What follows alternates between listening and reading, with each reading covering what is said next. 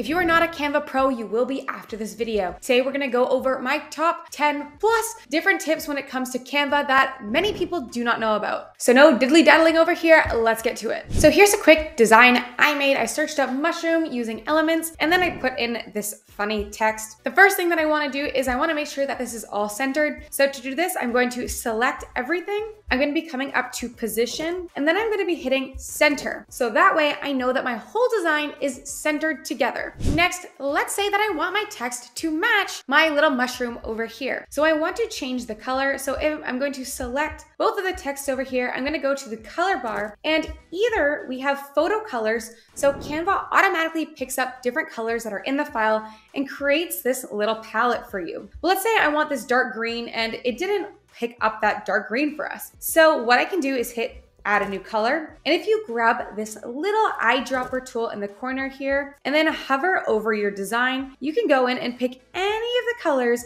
that are on your file. And then it's going to switch that object to that color. I really like this mushroom, but it's not my favorite, but I really, really, really like the style. And I can't seem to find it again on elements. One thing that you can do is if you click on the element and then in the top over here, there's this little I button, which is the information. And it's gonna tell you who made this design. So you can actually click into here. It says view more from the creator. And then you're gonna get all of the other designs I created. And usually people make things in bulk. So you're gonna find mushrooms in the same style, look like they do a lot of florals, all in this watercolor style. So this can help you find extremely close other elements to add to your design. So let's see if we can find one here. Maybe I like this one instead. So I have this photo here and I do this all the time for my YouTube thumbnails. This is just one photo right here, but say I want the text to show up behind my head. Right now I can't because this is just one image.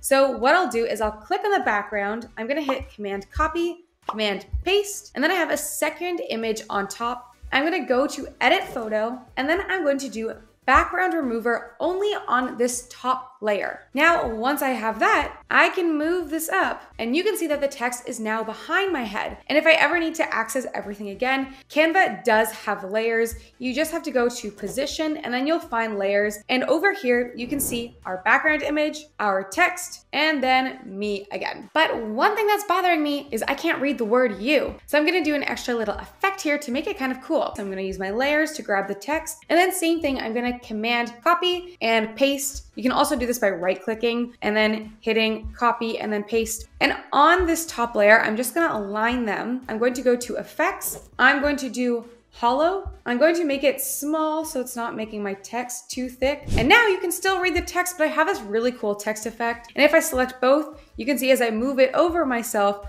we're getting this really cool effect that you can read everything. I can keep moving this over and it's just a really cool thing if you wanna make some cool effects using Canva. All right, now moving on to some mockup hacks if you do print on demand or you like to make mockups. So the first one is getting rid of things that make a mockup look not realistic. And for people who don't know, a mockup is a photo of a plain shirt where you can upload your design onto it to make it look realistic. The problem for this one is there's quite a bit of wrinkles that I'm just not a fan of. It might not make it look realistic if say I put just a design on top. It doesn't look too real because it's not picking up the wrinkles. So what I'll usually do is I'll go to photo and then I go to magic eraser.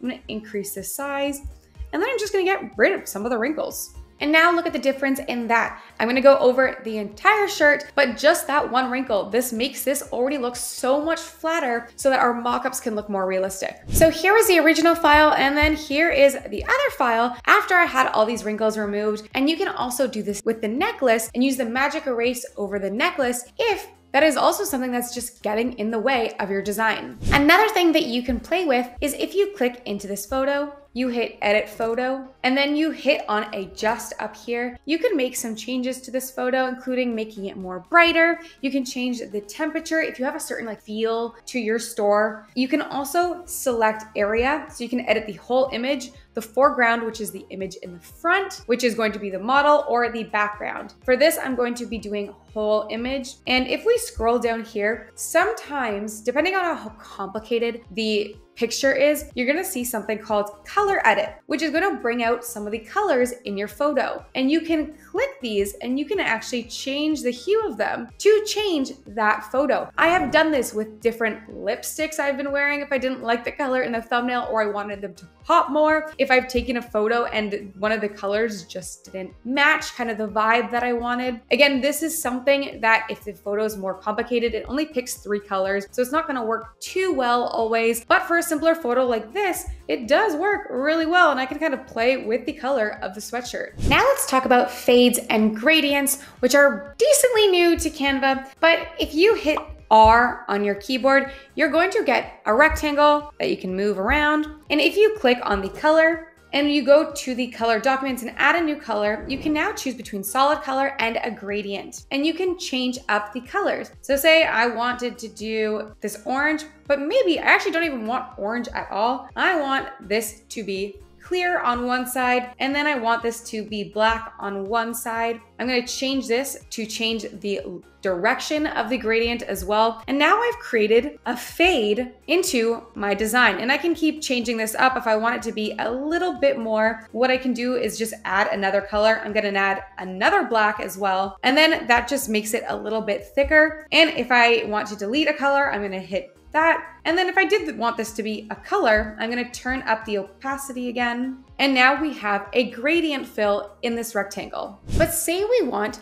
our text to have a gradient. Right now, that option is not there. If you just grab your text, you're not gonna see that option between the solid color and the gradient color. So what you need to do is you need to use an app and we are going to use this app called Type Gradient. So you can just search that up and this is gonna come up and then you can put in whatever you want to type here. So we can put hello friends. The only issue here is your downloaded fonts are not going to be on here. You can really just select from the Canva fonts, but there's already so many in here. So you can go through this, you can see what it's going to appear like. And then down here, I can change the line height, which is the spacing between my two different lines. I can go back up, change the font, and then I can also change the colors as well by just selecting the boxes here, playing with these a little bit more. And then by moving these, we can also add in another one. By clicking on them, we can also delete it. Depends how crazy you really want to go with this. I'm gonna delete this one here, it's a little bit much.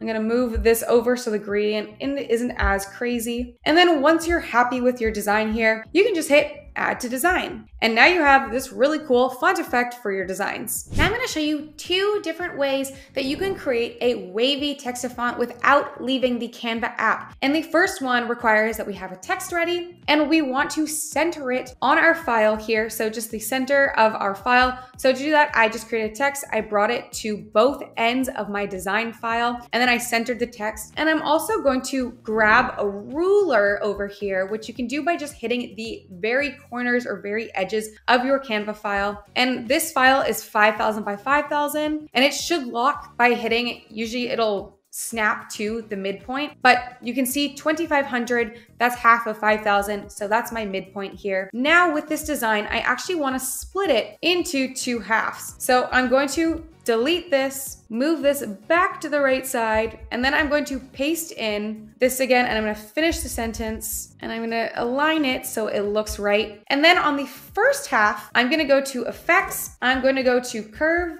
and I'm going to adjust this down and take note of how much I'm curving this. So this one I curved 70. So now on this half, I'm going to do the same thing curve, but I'm going to go to negative 70. You can also just type it in and then realign these again. And there we go. Again, you can make this less curved if you would like. If you want to have multiple layers, you can keep going down, you can change the text, but that is the first way to do it right within Canva. The next way is to do it using a tool called Typecraft. And you can find this in apps and look up Typecraft. It looks like this purple one. The only downside is similar as to the other app that we had used. It only uses the Canva fonts, but you can change up your wording here. Hello friends. And then using all the anchor points here, you can move these and you can make a wave. And there we go. It is a little bit hard to get it exact. It might just take some playing with. And then you can add element to design when you've created it. And now you have a wavy font in here. Not the best font I picked, and you should spend more time on it, but that's how you would do these within Canva. If you wanna watch my favorite way to get wavy text though,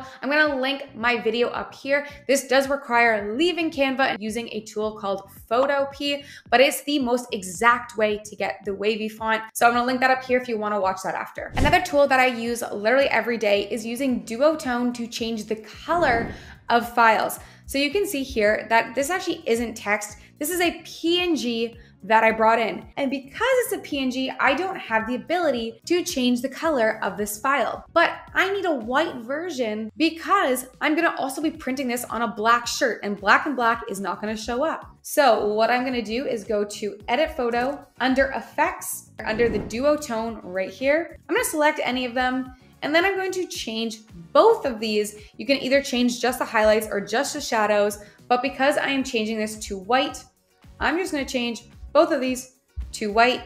And now you can see if I change the background photo here that I have changed the color of my file completely. And my last little hack is how to create your own custom Canva frames. So this one actually does have quite a bit to it and I realize I'm running really long on this video. So I did release a full tutorial on how you can turn literally any thing from Canva or anywhere into your own custom frame. And by own custom frame, I mean that you can drag in a photo and it's going to snap to a certain shape. So I'm gonna link that here and link that up as my next video as well. So go ahead and give that a watch.